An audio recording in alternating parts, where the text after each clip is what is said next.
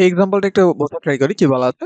যে a five centimetre diameter water jet with the velocity 30 meter per second impinges one as, on a single vein moving on the same direction. মানে একটা vein আছে যেটা same ডিরেকশনে move করছে, সেটাকে একই দিকে থার্টি মিটার পার সেকেন্ড বেগে আঘাত করে। এবং ভেইনটা যে বেগে মুভ করছে সেটা হলো আঠারো মিটার পার সেকেন্ড বলা আছে beta is two one fifty এবং friction losses over the vane are such that V two equals to zero point nine V one তাহলে এখানে প্রথমে কথা হচ্ছে, এখানে বিটা দেওয়া আছে। এবং এখানে একটা টু সাবস্ক্রিপ্ট বারে দেওয়া আছে। তো বিটা টু সাবস্ক্রিপ্ট এটা দ্বারা আমরা কি বুঝব? এটা দ্বারা আমরা বুঝব লিভিং যে ভেলোসিটি আছে, সেটার ইউ এর রেসপেক্টের রিলেটিভ ভেলোসিটিটা কত অ্যাঙ্গেল তৈরি করে আছে, ঠিক আছে? মানে লিভিং ভেলোসিটি ভি টু সেটার relative velocity with respect to U সেটা কত অ্যাঙ্গেলে আছে? এবং আরেকটা জিনিস আমরা মনে রাখতে পারি, যে এই জিনিসটা হলো অ্যাকচুয়ালি বেন্ট অ্যাঙ্গেল ঠিক আছে? এই জিনিসটা হলো আমাদের পাইপের বেন্ট অ্যাঙ্গেল সেটাও মনে রাখলেও আমাদের জন্য না। মানে এটা দেওয়া থাকলে আমাদের আসলে পাইপের ছুঁইটা দেওয়া থাকতে হবে না। পাইপ বলছে মানে ভেইনের ছুঁইটা দেওয়া থাকতে হবে না। ভেইনটা আমরা এমনি বুঝতে পারব। যে ভেইনটা এরকম করে যাবে, যাওয়ার পরে বেন্ট হবে। কত অ্যাঙ্গেলে বেন্ট হবে? একশো পঞ্চাশে বেন্ট হবে। ঠিক আছে? তো এটা হলো আমাদের বিটার কথাটা। ফ্রিকশন লসের কথা বলা আছে। ফ্রিকশন লসের কথা বলা আছে যেন V two is equal to কত হয়? Zero point nine V one হয়। অর্থাৎ ভি ওয়ানটা বড় ভি টুটা ছোট। আর সেখানে ভি ওয়ান আর ভি টু মানে কি বলা হয়েছে? ভি ওয়ান আর ভি টু মানে হলো আমার রিলেটিভ ভেলোসিটি গুলা। যেগুলোকে আমি নিউ ওয়ান এবং নিউ টু বলেছিলাম। তো আমরা এখানে small V one small V two এই আকারে ট্রিট করব। যেখানে আমি স্মল ভি ওয়ান লিখব, এটার মানে হলো আমি কি বলছি? রিলেটিভ ভেলোসিটির কথা বলছি, ঠিক আছে? এটা কেয়ারফুল থাকতে হবে। তাহলে আমি এই লাইনটাকে একটু মুছে ফেলি, এটা আমাদের দরকার নেই। আমাদের ফাইনাল বের করতে হবে কি? Force exerted by the water on the vane তাহলে কি করতে হবে? By the water on the vane এটা বের করতে হবে। বাট আমরা প্রথমে বের করব কোনটা? প্রথমে বের করব by the vane on the water সেই জিনিসটা বের করব, তারপর তাকে উল্টাই দেবো। তাহলে আমাদের কাজ হয়ে যাবে। তো সবার প্রথমে কাজ হলো আমাদের এই জিনিসটাকে দেখে মানে কোয়েশ্চেনটাকে পড়ে একটা চিত্র আঁকা। তো এটার চিত্র আমরা বুঝতেই পারছি, যেহেতু বেন্ট অ্যাঙ্গেল দেওয়া আছে একশো পঞ্চাশ বা বিটা টু দেওয়া আছে একশো পঞ্চাশ, তো সেটা অনুসারে জাস্ট কি করে দিতে হবে? বেন্ট করে দিতে হবে। তো আমাদের হরিজন্টাল একটা লাইন আসবে লাইন আসার পর সেটা হয়তো এভাবে বেন্ট হবে। বেন্ট হওয়ার পরে ফাইনালি একশো পঞ্চাশ ডিগ্রির মতন একটা বাঁক নিবে। ঠিক আছে? একশো পঞ্চাশ ডিগ্রির মতন একটা বাঁক নিবে। এইটা কত ভেলোসিটিতে সামনের দিকে যাচ্ছে? বলে দেওয়া আছে যে ভেইনটা আঠারো মিটার পার সেকেন্ড বেগে সামনের দিকে যাচ্ছে। তো এটা হলো আমাদের ইউ কত বেগে জেটটা আঘাত করে সেটা বলা দেওয়া আছে, সেটা হলো ভি ওয়ান তাহলে কত? থার্টি মিটার পার সেকেন্ড এইখান দিয়ে যে ভেলোসিটিটা বের হয়ে যাবে, সেটা অবশ্যই ভি টু হবে না, সেটা হবে আমাদের স্মল ভি টু ঠিক আছে? স্মল ভি টু বা আমি এক কাজ করি, আমি এগুলোকে নিউ আকারে প্রকাশ করি স্মল বলার দরকার নেই নিউ টু বললাম। নিউ টুটা কত অ্যাঙ্গেল তৈরি করেছে? ইউ এর সাথে সেটাও বলে দেওয়া আছে। ইউটা যদি আমাদের এই ডিরেকশনটা হয়, তাহলে নিউ টু ইউ টু এর সাথে একশো পঞ্চাশ ডিগ্রি কোণ তৈরি করেছে এবং আমরা জানি এটা হলো আমাদের বিটা অ্যাঙ্গেল এবং যেহেতু ভি টু এর জন্য, তাই আমরা এটাকে বিটা টু বলব ওকে আচ্ছা। তো আমরা আমাদের ফর্মুলাটা ইউজ করতে চাইলে প্রথমে আমার লাগবে কি নিউ ওয়ান এবং নিউ টু এর ভ্যালু তো আমরা প্রথমে নিউ ওয়ানটাকে বের করে ফেলি। নিউ ওয়ান সমান সমান কি আসবে? এখান থেকে বলা যায় যে নিউ ওয়ান সমান আসবে? ভি ওয়ান মাইনাস ইউ একদম সিম্পল রিলেটিভ ভেলোসিটির কনসেপ্ট অনুসারে। ঠিক আছে? একদম সিম্পল রিলেটিভ ভেলোসিটির কনসেপ্ট অনুসারে। তাহলে এটা আসবে আমাদের থার্টি মাইনাস কত? থার্টি মাইনাস আঠারো। এটা করলে চলে আসে বারো মিটার পার সেকেন্ড এই যে ভি ওয়ান ছিল ডান দিকে ইউ ছিল কোন দিকে? ইউ ছিল ডান দিকে। বাট রিলেটিভ ভেলোসিটির জন্য কি করতে হবে? ইউ কে উল্টিয়ে যোগ করতে হবে। তাহলে ইউ কে উল্টালাম, উল্টিয়ে যখন যোগ করব, তখন ভেক্টর দুইটা কি হবে? বিয়োগ হয়ে যাবে। তো এখানে বিয়োগ হয়ে গেল। এটা আসলে আমাদের বারো মিটার পার সেকেন্ড তাহলে এটা যদি আমরা জানি, তাহলে কিউ প্রাইমটা বের করে ফেলা যাবে না। কিউ প্রাইম সমান সমান আসবে A one multiplied by nu one এখন এ ওয়ানটা কত? এ ওয়ানটা হলো pi over four multiplied by এই যে ডায়ামিটার দেওয়া আছে ফাইভ সেন্টিমিটার তো জিরো পয়েন্ট জিরো ফাইভ সেটার উপর whole square multiplied by nu one মাত্র বের করলাম, সেটা হলো বারো। তো এটাকে হিসাব করে ফেলা যাক। এটা আসলো zero point zero two three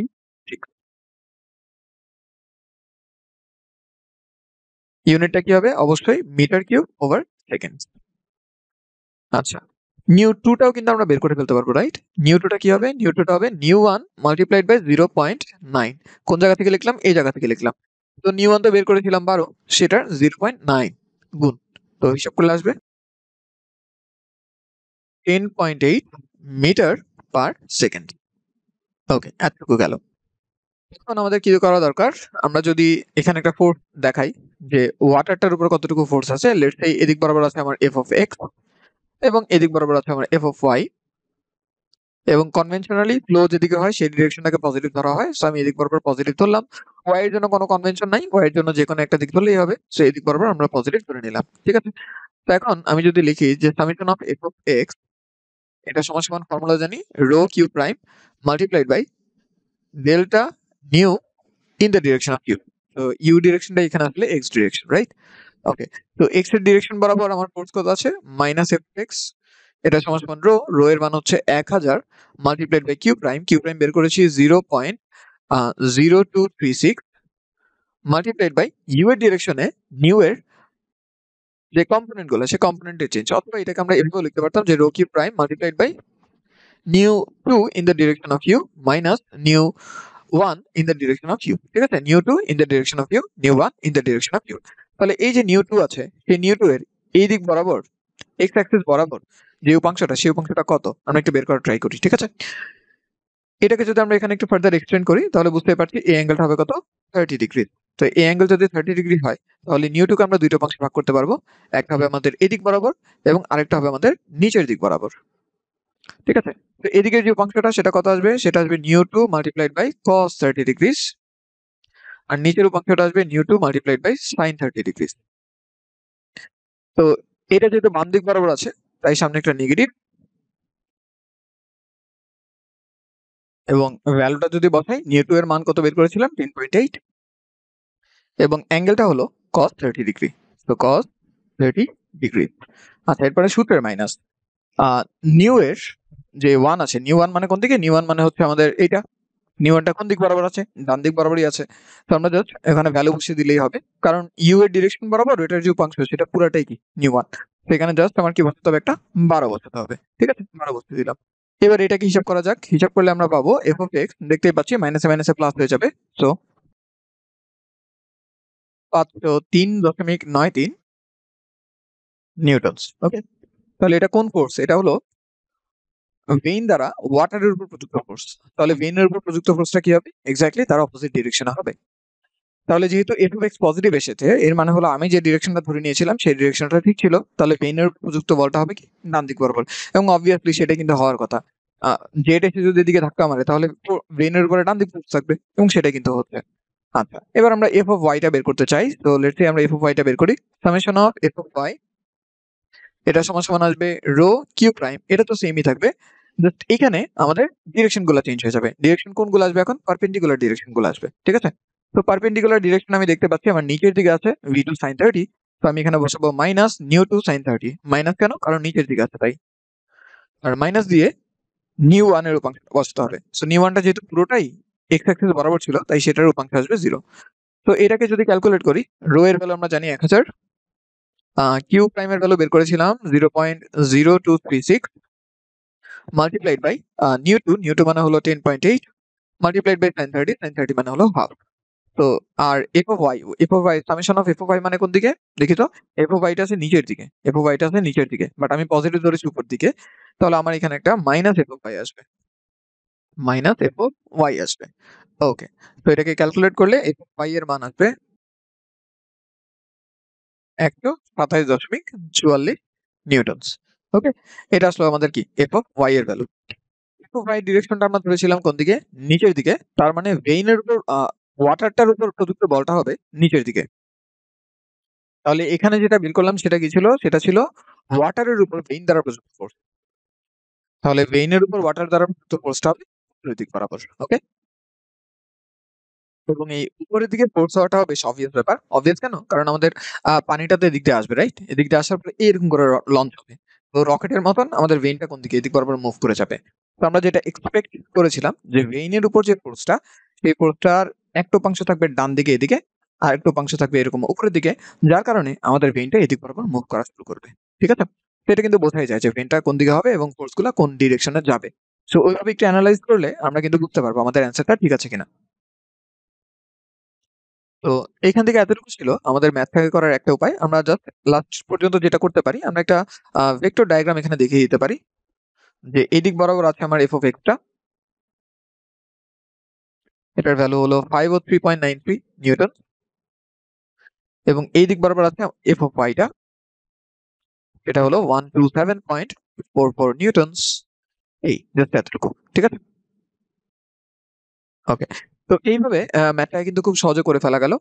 আরেকটা ওয়েতে আমরা করতে পারতাম, সেটা হলো আমরা অ্যাবসলিউট যে ভেলোসিটি আছে, সেই অ্যাবসলিউট ভেলোসিটির রেসপেক্টে কিন্তু জিনিসগুলো হিসাব করতে পারতাম। সেটা যদি হিসাব করা লাগে, তাহলে আমার কি করতে হবে?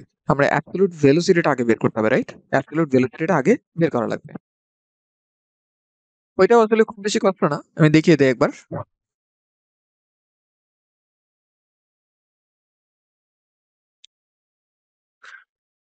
ওকে সো লেটস এটা ছিল আমাদের কোয়েশ্চেনটা এটা অনুসারে আমরা কি করেছিলাম? চিত্রটা এঁকেছিলাম। তো চিত্রটা ছিল এইরকম করে গিয়ে এভাবে বেন্ড করে যাবে। কতটুকু বেন্ড করবে? পঞ্চাশ ডিগ্রি বেন্ড করবে। এইদিকে যে ভেলোসিটিটা সেটা ছিল আমাদের ভি পাইপটা চলে যাচ্ছিল ভেইনটা চলে যাচ্ছিল কত বেগে ইউ ভেলোসিটিতে চলে যাচ্ছিল। এদিক বরাবর যে এই ভেলোসিটিটা বের হয়েছিল, সেটা ছিল আমাদের নিউ টু ঠিক আছে? এটা ছিল আমাদের নিউ টু ইউটা কোন দিকে ছিল? ইউটা ছিল আমাদের এই ডিরেকশনে এটা ছিল আমাদের ইউ এবারে একটু কেয়ারফুলি দেখতে হবে। একটু কেয়ারফুলি আমাদের দেখা লাগবে। নিউ টু ভেক্টর, এটা সমান সমান কি? এটা সমান সমান হলো V two vector minus u vector right এখন আমি নিউ টু ভেক্টরের ডিরেকশন জানি, ইউ ভেক্টরের ডিরেকশন জানি, আমি জানতে চাই ভি টু ভেক্টরটার ডিরেকশন কি হবে? ভি টু ভেক্টরটার ডিরেকশন কি হবে? খেয়াল করি, এই যে ভি টু ভেক্টর সেটা ডিরেকশনটা হয়ে যাবে nu two vector plus u ভেক্টরের সমান। অর্থাৎ নিউ টু ভেক্টরটা দেখা যাচ্ছে কিনা? এই যে দেখা যাচ্ছে। ইউ ভেক্টরটা দেখা যাচ্ছে কিনা? এই যে দেখা যাচ্ছে। এই দুইটাকে যোগ করে দিতে হবে। এবং যোগ করার জন্য আমরা কিন্তু জানি আমাদের কাছে সামন্তরিক সূত্র আছে, বিশাল একটা অস্ত্র। তাহলে এই সামন্তরিক সূত্র যদি আমরা প্রয়োগ করি, প্রয়োগ করলে আমরা দেখতে পাবো যে আমার ভি এর যে ডিরেকশন অর্থাৎ অ্যাকচুয়াল ভেলোসিটির যে ডিরেকশন সেটা কিন্তু এই দিক বরাবর চলে আসে। এবং এই অ্যাঙ্গেলটাও যে এরকম হবে, এটাও কিন্তু আমাদের প্রেডিকশন ছিল আগে থেকে রাইট হ্যাঁ আমরা কিন্তু থিওরিতে পড়ে এসেছি যে এরকম দিকে একটা ডিরেকশন থাকার কথা। এখন মনে করে আসি রিলেটিভ ভেলোসিটির ভিডিওতে আমরা দেখেছিলাম যে ইউ এর সাথে ভি টু এর যেই অ্যাঙ্গেলটা হবে, সেই অ্যাঙ্গেলটাকে আমরা বলব বিটা কোণ। এটাকে আমরা বলব বিটা বলছি সরি এটাকে আমরা বলব আলফা কোণ। ওই যে ট্রিপল এ ছিল অ্যাবসলিউটের সাথে অ্যাবসলিউটের কোণ alpha A A A alpha but যেহেতু এটা ওয়ানে আছে, তাই এটাকে আমরা আলফা ওয়ান বললাম। আর ইউ এর সাথে রিলেটিভের যে কোণ, সেই কোণটাকে আমরা বলব বিটা কোণ। এটা যেহেতু টু এর সাথে আছে, তাই এটাকে আমরা টু বললাম। আর এখানেও অ্যাকচুয়ালি আমার টু বলা উচিত রাইট কারণ দুই নাম্বার ভেলোসিটির জন্য আমরা করছি সবকিছু। ওকে আমার যেটা দেওয়া আছে সেটা হলো এই বিটা টু এর ভ্যালুটা দেওয়া আছে। বিটা টু এর ভ্যালুটা হলো কত? একশো পঞ্চাশ ডিগ্রি আমরা যেটা বের করতে চাই সেটা হলো এই ভিটুটা এবং সাথে এই আলফাটা যাতে আমি কম্পোনেন্টগুলো নিতে পারি। তাহলে ভিটু আর আলফা এই দুটো হলো বের করা আমার উদ্দেশ্য এখন। কীভাবে বের করা যায়? বের করব আমরা লম্বাংশ উপপাদ্য দিয়ে। বের করব কি দিয়ে একদম কমপ্লিটলি লম্বাংশ উপপাদ্য দিয়ে বের করে ফেলব। তো খেয়াল করি, লম্বাংশ উপপাদ্য অনুসারে আমরা বলতে পারব, লব্ধি যে তোমার ভি টু ভি টু এর ইউ এর বরাবর উপাংশ হবে ভি টু এবং ইউ এর সাথে উৎপন্ন কোণ that is cos alpha two এটা সমান সমান হবে ইউ এর দিক বরাবর ইউ এর উপাংশ that is u plus u এর দিক বরাবর নিউ টু এর উপাংশ। সেটা মানে কত? সেটা মানে হলো nu two cos beta nu two cos beta এখানে টু বলা উচিত। তো এখান থেকে আমরা ভি টু কজ আলফার একটা ইকুয়েশন পাবো রাইট ভি টু কজ আলফার একটা ইকুয়েশন পাবো। সেটা হবে V two cos alpha two এটা ইকুয়াল টু ইউ এর ভ্যালু ছিল আঠারো প্লাস নিউ টু সেটা আমরা বের করেছিলাম টেন পয়েন্ট এইট ছিল প্রবাবলি একটু দেখে আসি। Yes nu ten point two ছিল এবং কজ বিটা টু মানে হলো কজ একশো পঞ্চাশ ডিগ্রি এটাকে হিসাব করা যাক। হিসাব করে দেখি কত আসে। V two cos beta two cos alpha two equal to eight point six four seven ঠিক আছে? এটাকে আমরা নাম দিলাম ইকুয়েশন ওয়ান তারপরে আমরা লম্বাংশ উপপাদ্য যদি লম্ব দিক বরাবর খাটাই হ্যাঁ ইউ এর লম্ব দিক বরাবর খাটাই, তাহলে জাস্ট এখানে যত জায়গায় কজ আছে, সব জায়গায় সাইন বানিয়ে দিতে হবে জাস্ট একটুকুই। যত জায়গায় কজ আছে, তত জায়গায় কি বানিয়ে দিতে হবে? সাইন বানিয়ে দিতে হবে। তাহলে আমরা লিখব V two cos alpha two মানে হয়ে যাবে সাইন আলফা টু আচ্ছা ইউ যেটা ইউ এর এখানে ছিল কজ জিরো ডিগ্রি ঠিক আছে? ইউ কত ছিল? কজ জিরো ডিগ্রি কারণ ইউ এর সাথে ইউ এর ডিরেকশন উৎপন্ন কোন কত? জিরো তাই আমরা এখানে ইউ কজ জিরো ডিগ্রি লিখেছিলাম।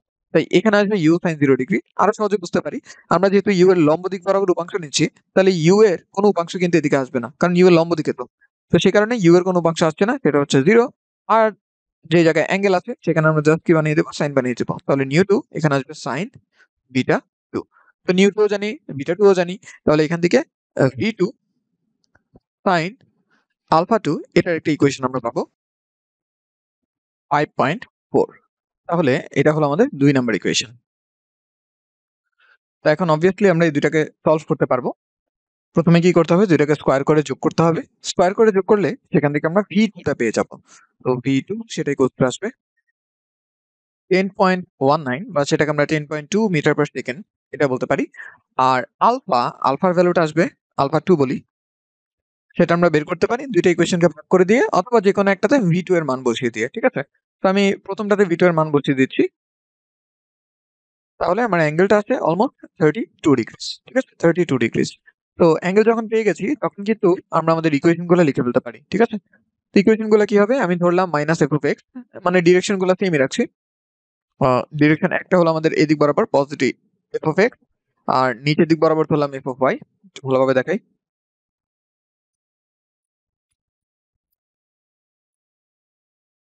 ওকে, এদিক বরাবর হলো of y এবং কনভেনশন ওয়াইজ আমরা ফ্লো এর ডিরেকশন বরাবর পজিটিভ ধরছি এবং তার উল্টা দিক বরাবর কি ধরছি? উপরের দিক বরাবর পজিটিভ ওয়াই অ্যাক্সিস ধরছি। ঠিক আছে? Positive y axis.